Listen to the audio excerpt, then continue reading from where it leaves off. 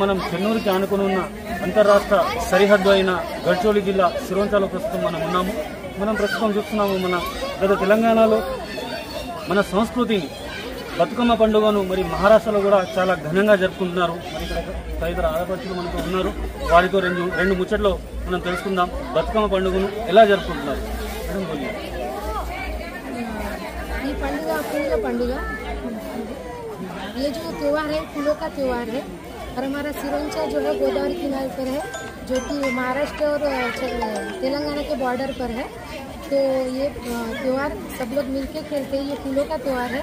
सब औरतें पितृमोक्ष अमासी के दिन फूल लाती है, गिन चुन के, कलर कलर के फूल लाती है। उससे फूलों की माला बना के ये बदकमा बनाई जाती है। मैडम बदकमा का मतलब क्या है? बदकमा का मतलब जब पुराने जमाने में राजा लोग जो है, औरतों पे अत्याचार करते थे, तब ये बदकमा जो है उनको बचाने के लिए आई।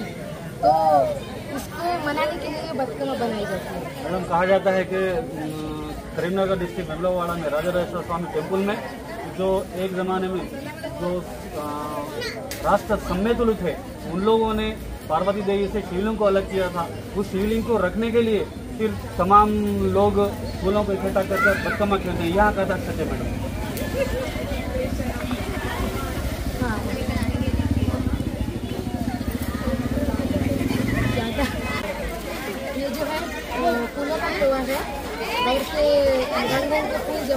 मतलब सभी लोग मिलजुल के एक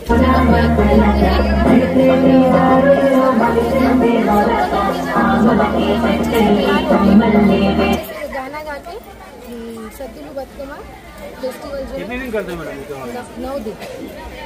थैंक यू तीन दिन हम लोग सिरोंचा में रहते हैं और ये सिरोंचा तेलंगाना बॉर्डर में आता है तो इसलिए यहाँ पर नौ दिन बतकमा बदकमा खेला जाता है। जैसे पूरे महाराष्ट्र में डांडिया खेला जाता है, वैसे ही यहाँ पर सिरोंचा में बदकमा खेला जाता है नौ दिन के लिए और लास्ट नौवे दिन ये सदुला बदकमा करके खेला जाता है। सब महिलाएँ नए नए कपड़े धारण करते हैं और अच्छे से गाना बजाकर खेलते हैं, अच्छे से नाचते गाते हैं और लास्ट में नदी में बदकमा विसर्जित करते हैं, फिर बाद में सब लोग नए नए पदार्थ बनाकर लाते हैं और सबके साथ शेयर करके खा लेते हैं हम सब। और ये कई सालों से खेला जा रहा है।